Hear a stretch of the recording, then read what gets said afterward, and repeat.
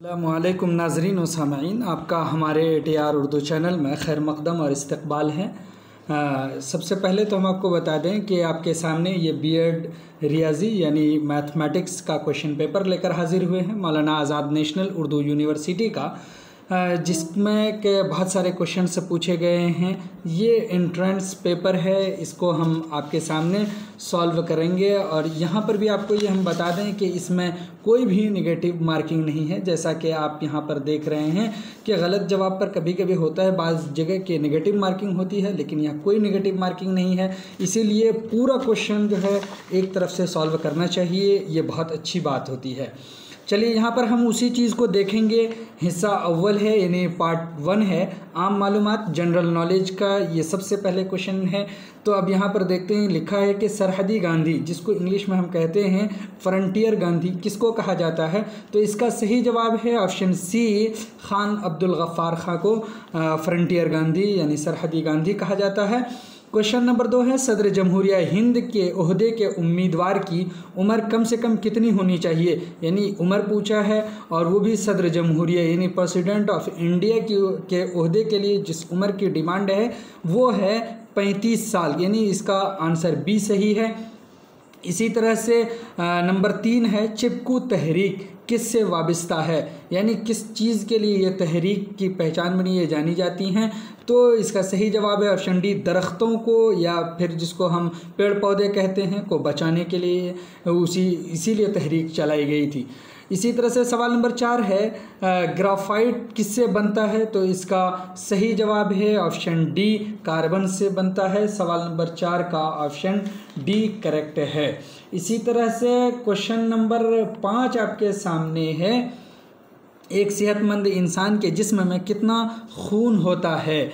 तो एक सेहतमंद इंसान के जिस्म में पाँच से छः लीटर खून होता है, इसका डी आंसर है। इसी तरह से सवाल नंबर छः है कि गुबार खातिर के मुसनफ़ हैं, यानी कौन हैं? तो वो मौलाना अबुल कलाम आज़ाद हैं, इसका ऑप्शन ए सही है। सवाल नंबर सात है I C R I S A T, यानी इसका मतलब होता है international crops research institute for the semi arid tropics से तो ये कहाँ पर वाक़ है?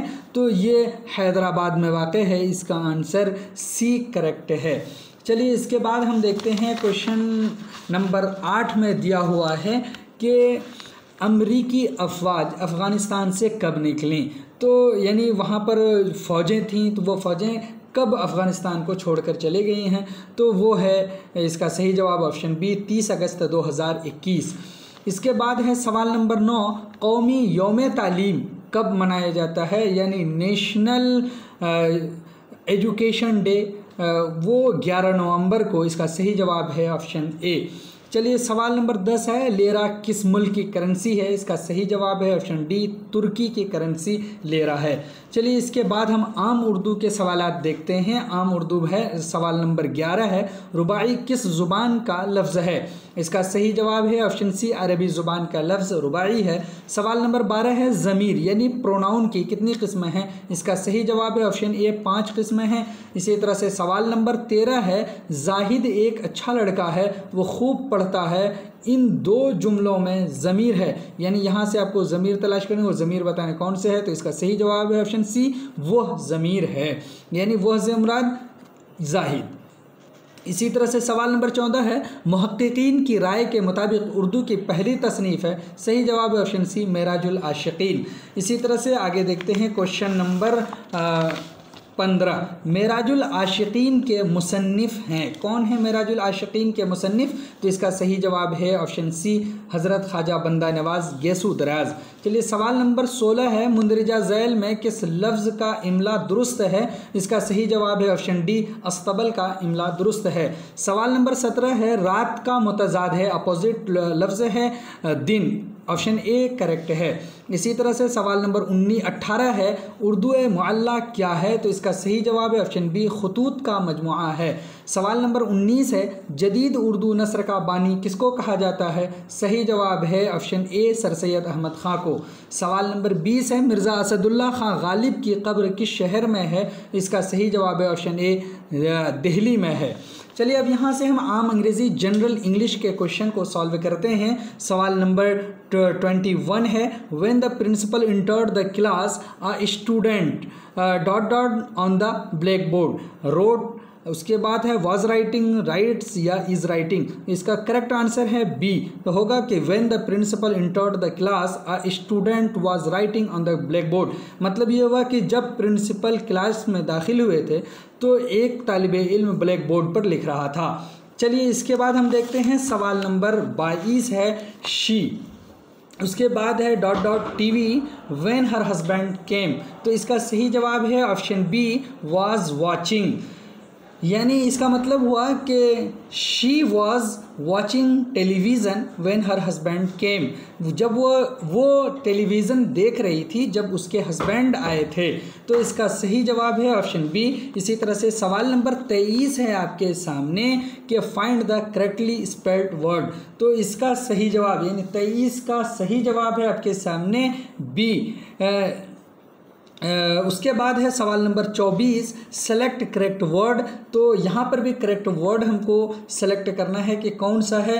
तो चौबीस का सही आंसर है डी एक्लेरेशन इसी तरह से सवाल नंबर पच्चीस है his office is dot dot the corridor तो अब यहाँ पर कौन सा वर्ड हम भरेंगे? तो इसका सही जवाब है ऑप्शन सी बिसाइड इसी तरह से सवाल नंबर ट्वेंटी सिक्स छब्बीस है. My house is dot dot the third cross roads after the bridge इसका सही आंसर है छब्बीस का ऑप्शन बी एट यानी my house is at the third cross roads after the bridge इसी तरह से सवाल नंबर सत्ताईस है. What is the opposite of sage sage means है, सबसे पहले मीनिंग अगर आप समझ लेंगे तो यानी बाबा साधु जिसको हम कहते हैं तो इसका अपोजिट है रूद यानी इसकी मीनिंग होती है बदमाश। इसी तरह से सवाल नंबर ट्वेंटी एट अट्ठाईस है select the most appropriate antonym of the given word empathy ये एम्पैथी मीन्स है हमदर्दी। ये तो इसके अपोजिट वर्ड तलाश करने हैं, यहाँ पर सम्पैथी है, जबकि ये दोनों सिमिलर वर्ड हैं सेनोनियम हैं। तो एम्पैथी इसका अपोजिट है, यानी हमदर्दी का अपोजिट वर्ड अगर तलाश करेंगे तो वो बेहिसी होती है यानी अपेथी मीन्स बेहिसी। इसी तरह से क्वेश्चन नंबर ट्वेंटी नाइन है what is the most appropriate synonym of chaste chaste meaning होती है पाकिज़ा।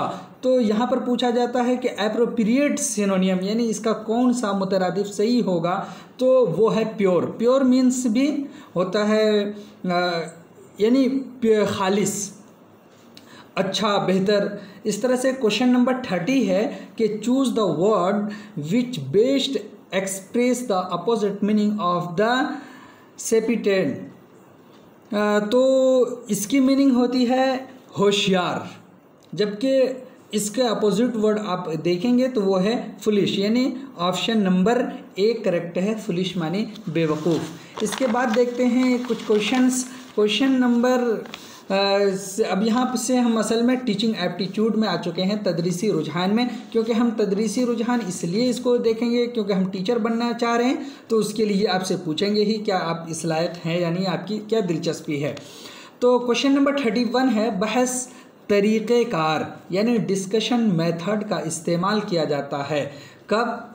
जब मौजू आसान हो, या मौजू मुश्किल हो, मौजू बहुत मुश्किल हो, या ये सभी। मौजू आसान हो तो तब डिस्कस तो हम करते नहीं डिस्कशन मेथड का इस्तेमाल। तो इसका मतलब है, जब ए नहीं होगा तो डी नहीं होगा, बचे दो बी और सी तो मौजू मुश्किल हो, तब भी हम कमी डिस्कस करते हैं। तो यानी उस वक्त हम डिस्कस करते हैं, जबकि मौजू मुश्किल हो। यानी गंभीर मसले में हम जो बैठक बुलाते हैं, वहाँ पर बातचीत करते हैं। तो बहस तरीक़ार मौजू बहुत मुश्किल हो। इसका सही जवाब है ऑप्शन सी इसी तरह से सवाल नंबर है बत्तीस। तदरीस का अहम मकसद है। तदरीस का अहम मकसद क्या है कि सोचने की सलाहियत का फ़रोग, या सिर्फ़ मंतिक का फ़रोग। मंतिक कहते हैं बातचीत, कि सिर्फ़ हम बोलने चालने की सलाहियत को फ़रोग देना चाहते हैं तो ये तो बिल्कुल भी नहीं होगा। यहाँ पर जब ये नहीं होगा तो ऑप्शन सी ऐसे ही खारिज हो गया। ए और बी दोनों पूछा है। तो ये खारिज हो गया। नंबर डी में है मालूम फ़राहम करना। तदरीस का मकसद सिर्फ़ मालूम फ़राहम कर देना नहीं है। बल्कि एक डेवलप करना है और डेवलप कब होती है? जब सोचने की सलाहियत का फ़रोग होगा तो ऑप्शन ए करेक्ट है इसका। चलिए, इस तरह से सवाल नंबर तैंतीस में है कि तदरीस का मैार ज़ाहिर होता है। कब तदरीस का, यानी लेवल टीचिंग का कब ज़ाहिर होगा? तलबा के पास होने की फ़ीसद से फ़ीसद से तो बिल्कुल भी नहीं होगा। इसी तरह से नंबर बी में है कि कमरे जमात में तलबा की हाज़िरी से अगर बच्चे अटेंड कर रहे हैं, अगर वो सुन नहीं रहे हैं तो क्या फ़ायदा है? तो बी भी नहीं होगा। इस तरह से तलबा के पूछे गए सवाल के मैार से, यानी इसका मतलब है कि आपकी टीचिंग इतनी इफ़ेक्टिव है कि वो बच्चे सुन रहे हैं और वो सुन करके क्वेश्चन कर पा रहे हैं तो इसका मतलब है कि ये तो हो सकता है। तो अगला देख लेते हैं डी में, कमरे जमात में तलबा की खामोशी की मुद्दत से। तलबा खामोश हैं, तब भी उससे कोई मैार ज़ाहिर नहीं होता है। हो सकता है वो दूसरा काम कर रहा हो। तो इसका सही जवाब है ऑप्शन सी। इसी तरह से सवाल नंबर थर्टी फोर यानी चौंतीस है, एक अच्छी तदरीस के लिए क्या ज़रूरी है? कह रहे हैं कि तशखीस ज़रूरी, यानी डायग्नोसिस या इलाज, रेमेडी, या नंबर तीन में है सही समत डायरेक्शन और इसके बाद चार में है राय फीडबैक यानी ये चार दिया हुआ है, अब ये कह रहा है कि कोड है। मंदरजा जैल कोड में से सही जवाब का इंतखब करें। तो अब यहाँ आपको देखना है कि इनमें से कौन कौन आ सकता है। आपका जहन क्या कह रहा है कि कौन सा सटीक है तो वो आपको चूज़ करना है। और ये चारों ही सही हैं, इसका सही जवाब है ऑप्शन ए यानी देखिए कि सबसे पहले आपको मर्ज़ की तशखीस करनी पड़ेगी कि इसके अंदर क्या बीमारी किस तरह से पढ़ाना है। उसके बाद जब आपको मर्ज़ की, का पता चल जाए तो आप तशखीस करेंगे। उसके लिए फिर वही है कि इलाज हो गया। और फिर ये इलाज निर्भर करता है कि आपके डायरेक्शन क्या है तो सही समत। और फिर सही समत के बाद राय। यानी उससे जो है सारी चीज़ें निकल कर आती हैं। ये अच्छी तदरीस के लिए ज़रूरी है। चलिए, इसके बाद देखते हैं। सवाल नंबर थर्टी फाइव है, यानी पैंतीस है। तालीम एक ताकतवर आला है। किसके लिए? समाजी तब्दीली के लिए। नंबर बी है ज़ाती तब्दीली के लिए। नंबर सी है सकाफ़ती तब्दीली के लिए। डी है ये सभी। देखिए, तालीम ताकतवर आला है। तो सबसे पहले तो ये सोच लीजिए, ज़ात अगर आप तब्दील हुए हैं तो इसका मतलब है समाज भी तब्दील हुआ। जब समाज तब्दील हुआ है, जो आपके कल्चर है, सिविलाइजेशन है, वो भी तब्दील होते हैं तो इसका मतलब इसका सही जवाब है ऑप्शन डी। तो ये डिपेंड करता है तालीम एक ताकतवर आले के तौर पर इस्तेमाल होता है। यानी इसको बेहतर वेपन कहा गया है। सवाल नंबर छत्तीस है, आप मुअल्लिम बनना चाहते हैं क्योंकि तदरीसी काम में छुट्टियाँ खूब मिलती हैं, या फिर मौलम अपने तलबा से अपना काम करा सकता। तो देखिए, छुट्टियाँ तो अगर आप तदरीस करना चाहते तो उसको छुट्टी ना मिली, जिसने सबक याद किया और फिर जिसने पढ़ाने, पढ़ने और पढ़ाने से दिलचस्पी ली, उसके लिए छुट्टी नहीं है। तो इसका मतलब ए तो खारिज हो गया। अपना काम बच्चों से कराना, ये तो अच्छी आदत नहीं है। तो ये भी खारिज हो गया। अब रही बात मुअल्लिम को काबिल एहतराम माना जाता है। ये तो है कि मुअल्लिम को एहतराम माना जाता है लेकिन हर समाज में नहीं।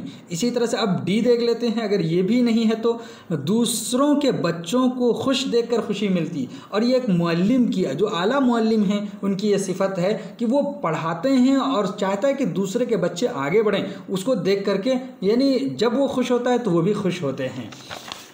तो चलिए उसका डी ऑप्शन करेक्ट है। अब देखते हैं सवाल नंबर सैंतीस। स्कूल में अपने मजमून की तदरीस को बेहतर बनाने के लिए अब सवाल क्या है कि तलबा को सवाल पूछने के लिए मुतहरक करें। तलबा से मवाद मजमून को बार बार दोहराने को कहेंगे। तलबा को मजमून घर से पढ़कर आने को कहेंगे। या फिर तलबा से कमरे जमात में ही काम करने को कहेंगे। और तदरीसी मकासद की रोशनी में उसका तयन मतन यानी तयन कदर करेंगे एवेलुएशन करेंगे। तो इसका सही जवाब है असल में सी। तलबा को मजमून घर से पढ़कर आने को कहेंगे। अगर घर से पढ़ के आने को कहेंगे तो तदरीस बहुत बेहतर होगी और बच्चे उसको खूब समझ सकेंगे। क्योंकि वो चीज़ें उन्हीं पर फोकस करेंगे, वो सोचेंगे कि अच्छा ये तो रह गया तो समझ नहीं पा रहे थे। तो इसीलिए घर से पढ़कर आने को कहेंगे। अपने मजमून की तदरीस को बेहतर बनाने के लिए। चलिए इसके बाद है सवाल नंबर थर्टी एट अड़तीस एक अच्छे मालम के लिए सबसे ज़्यादा ज़रूरी है। क्या ज़रूरी है? उसे मुतमिन रहना चाहिए, उसे मसलसल पढ़ते रहना चाहिए, उसे अच्छे कपड़े पहनना चाहिए, उसे अपने मजमून का माहिर होना चाहिए। मुतमिन रहना चाहिए, ये तो कोई ये नहीं। बल्कि सबसे ज़्यादा अच्छे मालम के लिए ज़रूरी है कि उसे मुसलसल पढ़ते रहना चाहिए। इसका सही जवाब है ऑप्शन बी। सवाल नंबर उनतालीस है, आप ऐसे रोज़गार का इंतखब करना चाहेंगे जहाँ आपको सुकून हासिल हो, जहाँ आपको बहुत आराम मिले, जहाँ आपको खूब दौलत मिले जहाँ आपको बहुत ताकत और इख्तियार हासिल हो। ताकत और इख्तियार हासिल हो तो आप गलत भी कर सकते हैं। इसी तरह से बहुत आराम मिले, ये तो आपको लेज़ी बना देगा। इसी तरह से जहाँ आपको खूब दौलत मिले यह आप में गुरूर पैदा कर देगा। तो जहाँ आपको सुकून मिले, अगरचे दौलत कम हो, आराम कम हो इख्तियार कम हो तो ये पसंद करेंगे। तो इसका सही जवाब है ऑप्शन ए। इसी तरह से सवाल नंबर चालीस है, एक कामयाब मालम के लिए सीखने के उसूलों का इल्म ज़रूरी है। क्योंकि क्यों ज़रूरी है? उससे वक्त की बचत होती है, उससे निसाब को आसान तरीके से समझाने में मदद मिलती है, उससे स्कूल के इंतज़ाम में मदद मिलती है, उससे निसाब को दिलचस्प बनाने में मदद मिलती है। इसका सही जवाब है ऑप्शन बी उससे नसाब को आसान तरीके से समझाने में मदद मिलती है मुअल्लिम के सीखने के असूलों में। इसी तरह से थोड़ा सा अब यहाँ पर देख लीजिए कि आपका जहन कितना चलता है, आप किसी चीज़ को किस तरह से हैंडल कर सकते हैं तो इसीलिए मेंटल एबिलिटी का टेस्ट भी लिया जाता है एक टीचर से। तो सवाल नंबर फोर्टी वन है, इकतालीस है, मुंदरिजा जैल में चार शहरों के नाम दिए गए हैं। उनमें से तीन शहर किसी न किसी तरीके से एक जैसे हैं। जो शहर उनसे अलग है, उसकी शनाख्त करें। उसको पहचानिए, देखिए, लखनऊ है, जयपुर है, पटना है, मुरादाबाद है। लखनऊ भी कैपिटल है, जयपुर भी और पटना भी। सिर्फ़ मुरादाबाद कैपिटल नहीं है तो इसका सही जवाब है के शनाख्त करें, जो अलग हो तो सी सही है। इसी तरह से अब यहाँ पर देखिए, अगला क्वेश्चन 42 है। सीरीज़ का अगला हरूफ लेटर तलाश करें। अब यहाँ पर देख लिए लेटर क्या है? सबसे पहले एम पी एस वी तो अगला लेटर क्या होगा? अब यहाँ देखिए कि एम एन ओ पी यानी दो वर्ड गैप है, दो लेटर उसके बाद पी के बाद अब देखिए, दो लेटर गैप एस है। उसके बाद एस के बाद दो लेटर गैप वी है। तो दो लेटर गैप कीजिए। वी डब्ल्यू एक्स दोनों को गैप कीजिए, उसके बाद वाई आ जाएगा तो इसका सही जवाब है ऑप्शन सी वाई इसी तरह से क्वेश्चन नंबर फोर्टी थ्री है मुंदरजा जैल सीरीज़ का अगला नंबर क्या होगा? तो अगला नंबर यहाँ पर अब तलाश कीजिए तो यह दो के बाद छः है छः के बाद बारह है, यहाँ ऊपर अब सीरीज़ इसकी चलाइए तो यहाँ पर जैसा कि आप देख रहे हैं, चार छः आठ, दस, यानी इसका मतलब है कि ये बढ़ता चला जा रहा है, बढ़ते क्रम में, यहाँ पर चौदह आया, चौदह के बाद अब जो है सोलह सोलह, यहाँ पर भी दो की सीरीज़ अगर बढ़ाते हैं, छप्पन में सोलह अगर ऐड करेंगे तो कितना हो जाएगा? इसका सही जवाब है बहत्तर। ठीक है? ऑप्शन सी यानी छप्पन में सोलह ऐड करेंगे, बहत्तर हो जाएगा तो इसका सही जवाब हो ऑप्शन सी चलिए, इसके बाद हम क्वेश्चन देखते हैं। क्वेश्चन नंबर फोर्टी फोर है छः शख्स।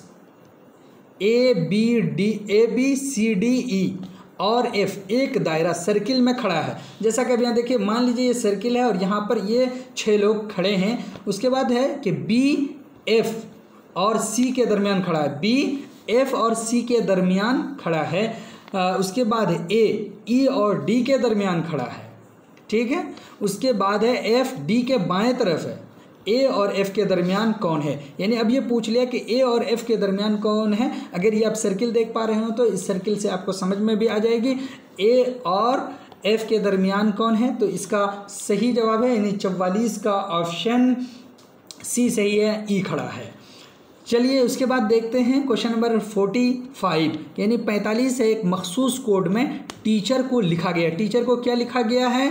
We ji C E J G T लिखा गया है। यानी मीन्स कि आप इसको ऊपर लिखिए टीचर को ऊपर लिखिए और we ji C E J J G T को नीचे लिखिए। आपको समझ में बात आ जाएगी। अब ये देखिए तो एक एक लेटर गैपिंग है। मतलब क्या है कि यहाँ पर देखिए एस टी यू वी यानी अब यहाँ पर देखिए कि टी के बाद क्या आता है? यू आता है यू के बाद वी आता है। तो यहाँ पर एक लेटर गैप किया वी को पहले कर दिया है। बिल्कुल इसी तरह से आप चिल्ड्रन ऊपर लिख करके एक लेटर यानी गैप कीजिए आप। सी के बाद क्या होता है? डी ई तो इसका मतलब है पहला लेटर यहाँ पर क्या आ जाएगा? ई e आ जाएगा। ई e के बाद एच है। अब यहाँ पर देखिए एच है। एच के बाद इसी तरह से एक लेटर गायब कीजिए। आई जे तो इसके बाद क्या आ जाएगा? जे आ जाएगा, यानी इसका मतलब है एच के बराबर में जे आएगा, इसी तरह से आई जे के तो आई के बराबर में के आ जाएगा, उसके बाद एल है। तो इस तरह से आप अगर करते हैं तो आप देखिए तो ये आपका क्या बनेगा? E J K N F T G P तो इसका सही जवाब क्या हो जाएगा? ऑप्शन बी चलिए क्वेश्चन नंबर छियालीस देखिए कि मुख्तार की उम्र अनिल से दो गुनी है। तीन साल पहले उसकी उम्र अनिल से तीन गुना थी। मुख्तार की उम्र मौजूदा उम्र है। क्या है उसकी?